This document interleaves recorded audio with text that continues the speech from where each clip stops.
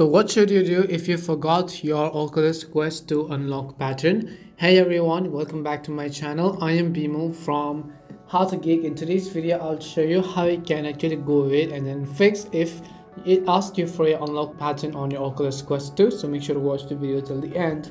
Now, unfortunately, you cannot turn on your Oculus Quest without a pattern. And if you have set a pattern and you don't remember it to change it also you have to remember your current pattern. So the only way to get around this issue is to factory reset your current pattern. So it's just like on phone. If you do not remember your password on phone you have to go ahead and reset it or factory reset your phone in order to start everything from first. And that's similarly how Oculus Quest also works. So in order to reset it keep in mind that after you reset it you will lose access to all of your data and everything else which means if you have an Oculus account and games all those games are going to be deleted but you can log into your oculus account again and download those games from the oculus store.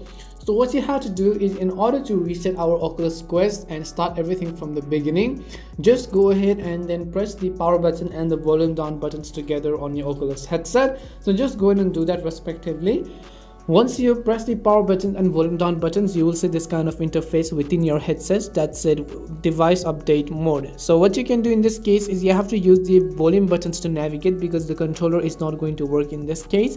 Use volume buttons to navigate up and down, volume up and down, and then you can use the power button to press OK. So just go ahead and navigate to the factory reset section. As you go to the factory reset section, on the next page you will see are you sure so over here you have to highlight the yes erase and factory reset and just press the power button in order to click ok and as you've done that your oculus quest is going to restart a couple of times and it will also remove the pattern but the downside is that it's going to be resetted and you have to start everything from the beginning and set it up all again and that's all it takes to fix if you forgot your unlock pattern on Oculus Quest 2. Unfortunately, this is the only way to resolve this issue. We hope the video was really helpful and if it did help you then make sure to leave a like and subscribe to my channel. If you have any more questions, feel free to leave them down. Thank you very much for watching and see you soon in our next video.